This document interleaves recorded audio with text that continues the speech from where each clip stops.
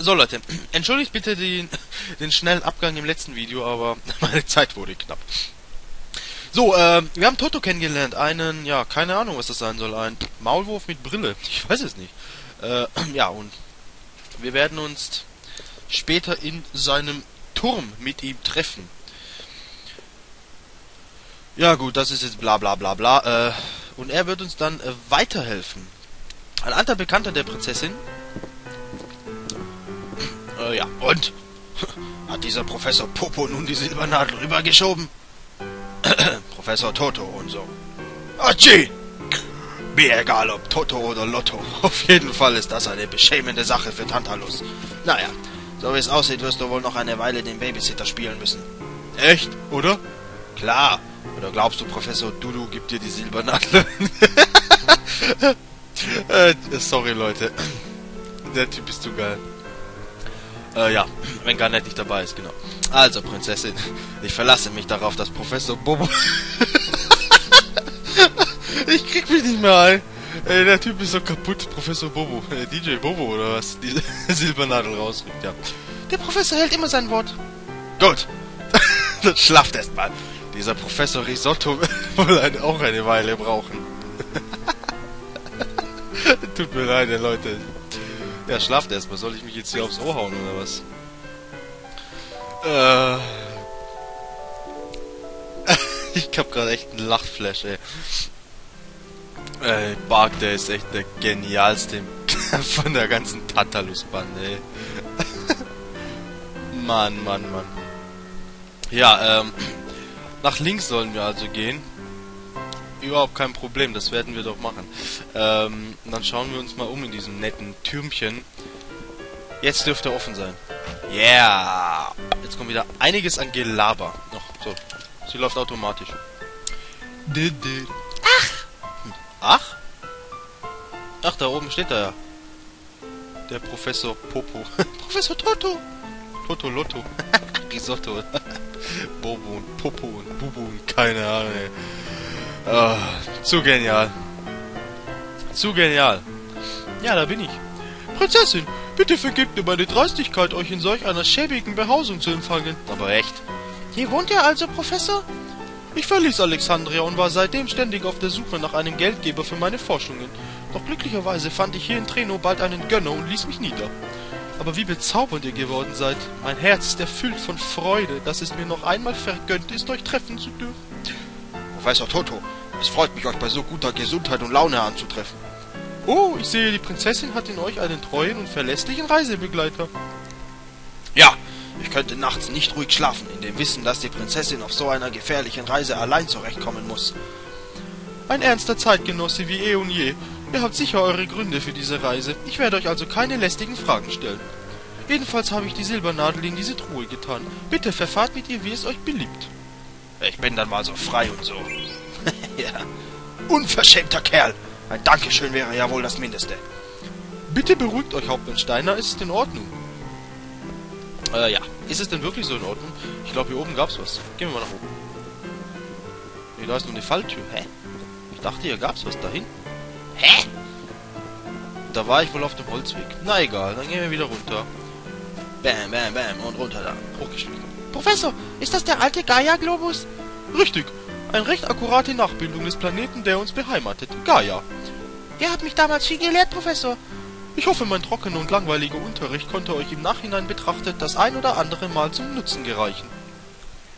Nein. Nein.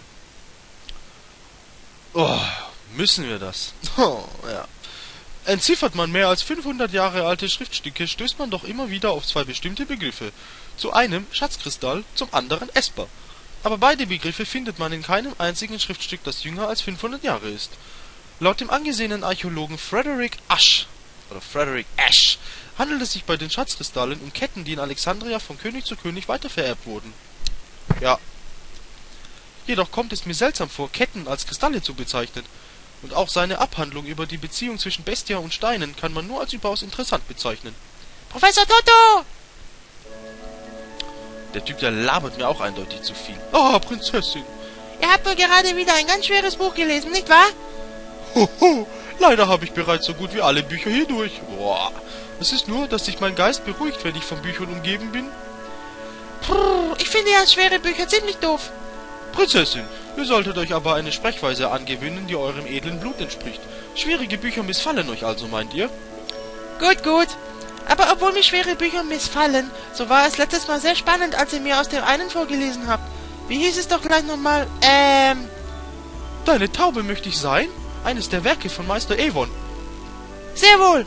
Mich dünkt es ebenso. Na, was sagt ihr? War das meinem edlen Blut angemessen? Hohoho, mich dünkt, ihr solltet heute nicht vergessen, eure geliebten Lilie zu düngen, teuerste Prinzessin. Professor Toto, was ist denn das hier? Ein Gaia-Globus, ein Modell des Planeten, auf dem wir leben, sozusagen. Gaia? Globus? Leben wir etwa in dieser runden Kugel? Ich meine, diesem Globus? Hohoho, nicht in, sondern auf dem Globus, beziehungsweise auf dem Planeten. Boah, mir tut die Fresse vom äh, Lesen weh. Moment mal. Ein Planet besitzt Energie, besitzt Leben und das wird zur Grundlage der Theorie über die Beziehung zwischen Steinen und Beschwörung. Oh, er verfällt wieder in sein nachdenklich, in seinen, in seinen, ja. und das bedeutet wiederum, das ist es. Oh, Prinzessin, ich bitte vielmals um Verzeihung, ich habe mich mal wieder hinreißen lassen. Schon gut. Sag mal, wo ist denn auf diesem Globus mein Zimmer? Äh, nun ja, dermaßen detailgetreu ist solch ein Globus leider nicht. Aber das Schloss ist drauf, oder? Nun, ich befürchte auch, und Und auch ist das Schloss. Und meine Mama und, die fette, die fette Brain, die muss man doch sehen vom Weltraum aus. Ah, meine Fresse. Ah, mir tut mein, meine Fresse weh vor lauter Reden. Es ist jetzt bald acht Jahre her. Ja, wie schnell doch die Zeit vergeht. Seitdem habe ich wie immer Bücher und andere Materialien zusammengesammelt, um meine Forschungen fortzusetzen. Und der Gaia-Globus? Ja, der hat schon so einiges durchgemacht. Aber ich reparierte das gute alte Stück und benutze ihn nun als Sternwarte. Die Sterne aus dem Herzen Gaias betrachten. Eine irgendwie interessante Perspektive, wie ich finde. Das stimmt. Prinzessin, ich möchte euch nicht belästigen und über die bisherigen Geschehnisse ausfragen, aber ihr sollt wissen, dass ich auf eurer Seite stehe. Wenn ich euch also mit meinen bescheidenen Fähigkeiten zur Hilfe erreichen, gereichen kann, so wäre es diesem alten Wirrkopf eine große Ehre. Professor Toto. Hör auf, so viel zu labern. Das würde mir sowas von helfen. Ja, die Königin geht so weit. Hm. Ja. Er will mir also helfen, nach Alexandria zu kommen. Aha, ja, ein alter Mechanismus, okay. Oh, hier entlang. Das führt also nach Alexandria? genau, er will auch nach Alexandria, damit er Blank befreien kann. So, das wird jetzt hier nicht mehr gelabert und nicht mehr synchronisiert und... Ah, weiter geht es hier. Kriege ich noch was von dir? Schade. Sau. So, und runter geht's. Endlich geht es weiter. Boah. Ich habe gedacht, es geht gar nicht mehr weiter. Der Gargantula-Tunnel. Oha. Die Musik ist lustig. Ja. Genau. Okay, dieses, ähm, dieser Tunnel verbindet also Treno mit Alexandria und wird von sogenannten, äh, sogenannten Gargantulas äh, ja, beheimatet. Beziehungsweise sie dienen als äh, Transportmittel. Habe ich einen Brief für dich? Oh ja, tatsächlich. Aha, aha, ja. Hm. Noch ein Brief? Nein. Du hättest so gerne einen Brief, das äh, interessiert mich nicht so sonderlich. wir gehen erst auf diese Seite, weil wir erst diesen Schalter da hinten umlegen müssen, bevor es weitergeht. Plattenpanzer. Ich glaube, man kann hier an dieser Stelle auch sehr gut leveln. Das werde ich auch offscreen machen, damit ich meine Karas ein bisschen aufpowere. So, jetzt habe ich den Schalter umgelegt. Das heißt, ich kann jetzt weiter machen. Bam, bam, bam, bam. Ich werde offscreen ein bisschen leveln hier. Weiß ich nicht, vielleicht so drei, vier Level hoch.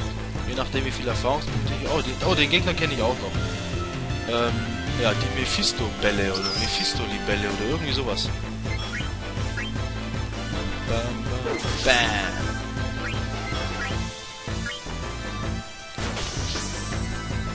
Na komm, mach ihn. Bam. Ach du Scheiße. Bam. Was ist das denn für ein Schaden? Gott sei Dank habe ich Steiner die beste, die stärkere Waffe gekauft. Und der lebt. Nein, ich dachte schon. Sonst äh, könnte das recht haarig werden. Boah, schickes Schwert. Wie viele Erfahrungspunkte? Okay. Ja, das werde ich offscreen machen und äh, wir sehen uns dann das nächste Mal hier im Gargantula-Tunnel wieder, wenn es heißt Let's Play Final Fantasy 9. seid auch dann wieder mit dabei, wenn Lucifer wieder nur mal Mist labert. Ich hoffe es zumindest, dass es euch wieder äh, einigermaßen Spaß macht bei mir. Und bis dann.